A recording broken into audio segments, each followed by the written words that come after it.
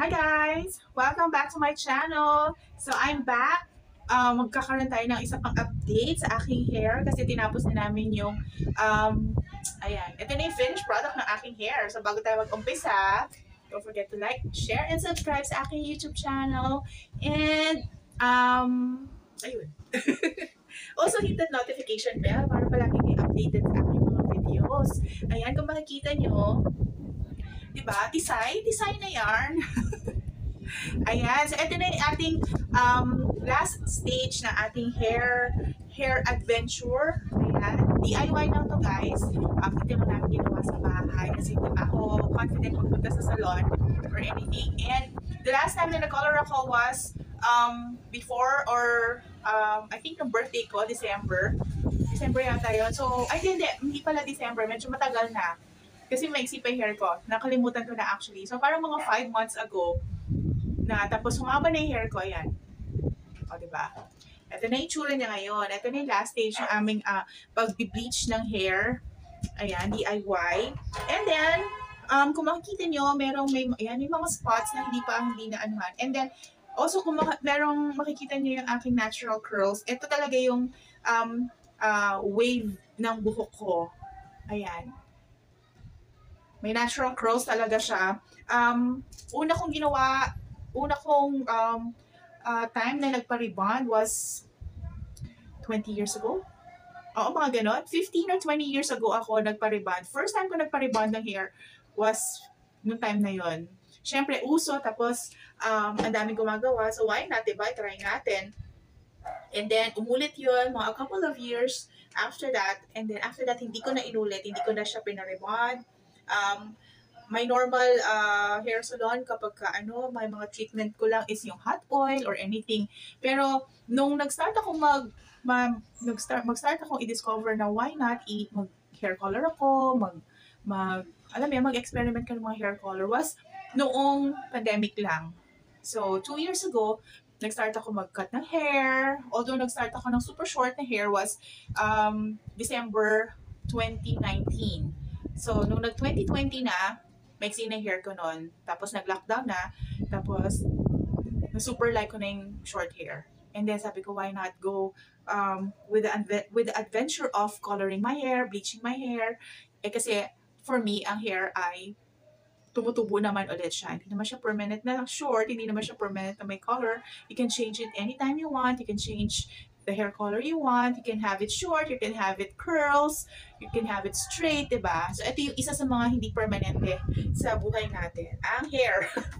Ayan. So, ito yung aking latest hair adventure. Ayan, super bleach na hair. Inayos namin maigi. May mga spots pa na hindi namin na, na-touch. Pero okay lang kasi hindi mo kami professional. Yung gumawa nito yung aking anak, yung aking daughter. So, syempre, ayan. Um, ano-ano lang. Pero okay naman, I like the result, I like the ano. And ayan, nag-start na siyang, ano, nag-start na siyang um, mag-dry. Kasi from the shower, rinse off ko siya and then nag-apply ako ng collagen. Hindi, ko, hindi ako nag-shampoo. Um, collagen conditioner lang yung ginamit ko. Ayan, kung makikita nyo, ayan yung natural curls ko. So, collagen conditioner lang yung ginamit ko. And, um, Ayan, i-treat ko siya, i-condition ko siya maigi, i-treat ko siya para bumalik yung natural oils niya. Ayan, ito yung ating ano, ito yung ating color ng lipstick. Pero, ayan, bagay pa yung color ng lipstick. Palitan natin ha, mag-ano tayo. Dagdagan natin ng ano, mas colorful, bright. Okay? Palitan natin. Gawin natin red yung ating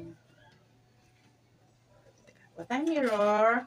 Magpalit tayo ng red. Ipapatong lang natin yung ano.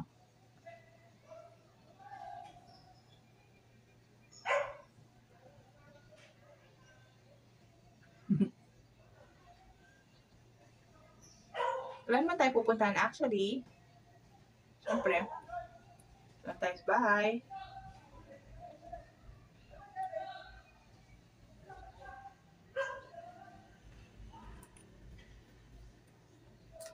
Ayan, mas bagay ba? I think mas bagay naman siya. So, ito na. Palit tayo ng ano, lipstick color. Mm. Mm, mas bagay, ano? Ayan. Alright, so going back to my hair, ayan na, i-condition natin siya ulit maigi. Um, ititreat natin siya ulit maigi para hindi siya mag-dry, hindi siya mag-freezy. Ang after kong uh, mag uh, rinse off nung um, pang bleach, ang ginawa ko ay yun nga collagen yung ginamit ko. And naisip ko na ito, ito yung ating gagamitin sa kanya. Kasi medyo marami akong marami akong stocks nito.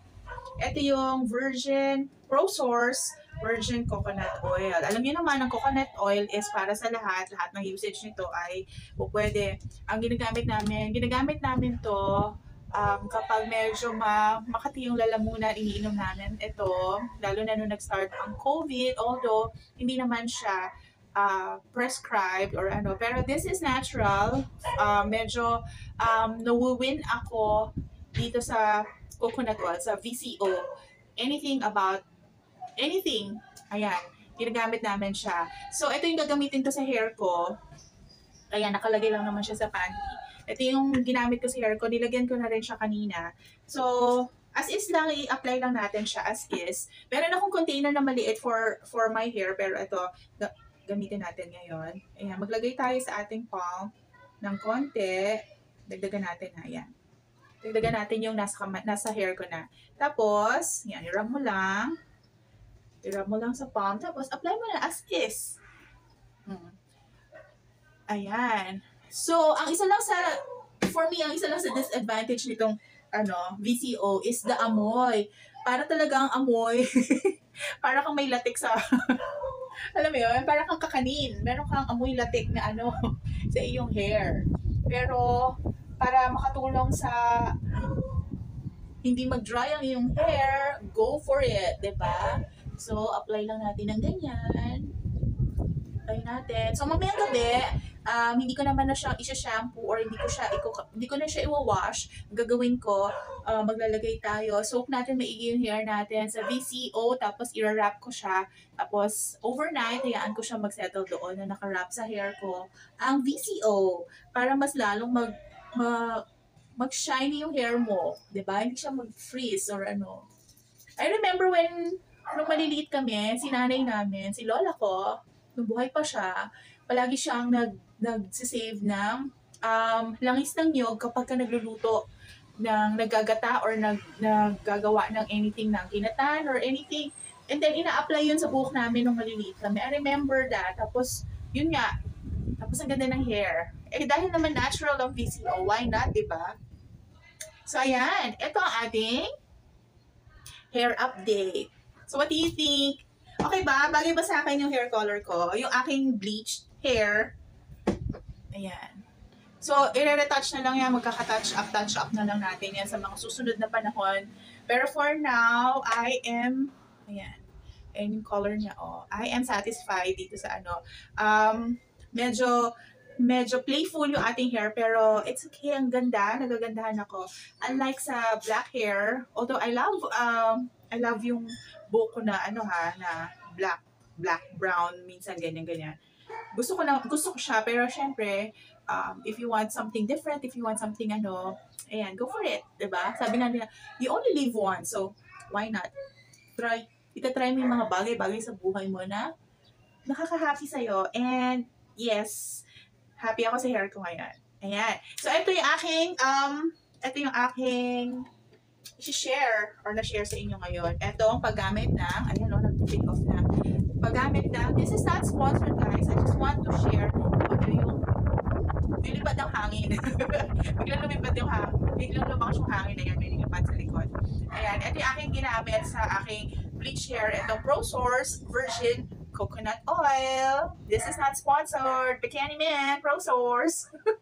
Alright guys, thank you thank you very much for watching and if you find this video interesting or anything you want to say to me, you can comment down below sa description sa comment section and ayun, I I uh, I will see you guys on my next video.